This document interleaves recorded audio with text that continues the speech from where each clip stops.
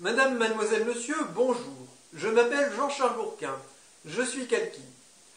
Je souhaite vous informer que je suis très mécontent en ce moment au sujet de l'attitude de l'État français et de certains Français à propos du dessin attribué à Léonard de Vinci, un Saint-Sébastien, qui a été découvert récemment et qui devient un sujet de fierté nationale.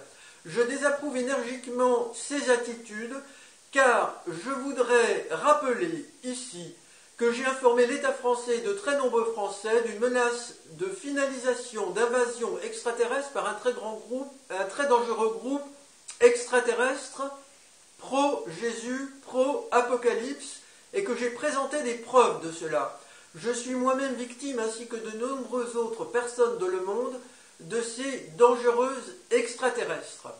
J'ai mécontent de l'attitude de l'État français quand Nicolas Sarkozy était président de la République, informé Nicolas Sarkozy et également l'ambassadeur d'Italie en France, Caracciolo Di Vietri, de euh, mon intention de réclamer le retour du tableau La Joconde exposé au Louvre en Italie pour dédommager le peuple italien euh, à cause des graves manquements l'État français et des Français dans cette affaire. Je rappelle que mon âme a été notamment celle de Léonard de Vinci.